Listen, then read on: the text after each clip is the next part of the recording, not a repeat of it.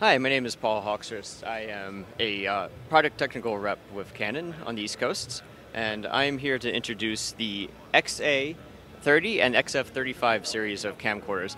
Now, these are an update to our widely popular XA20 and XA25 uh, camcorders.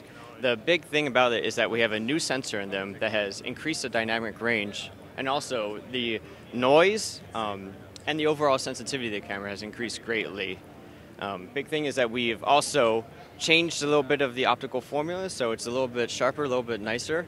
Also, the uh, um, dynamic image stabilization has been much improved.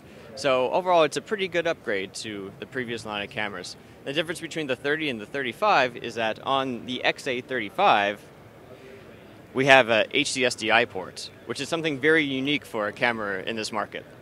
The XA30 and XA35 are perfect for your run and gun video journalism type of shooting, um, and they are currently available at Markertek.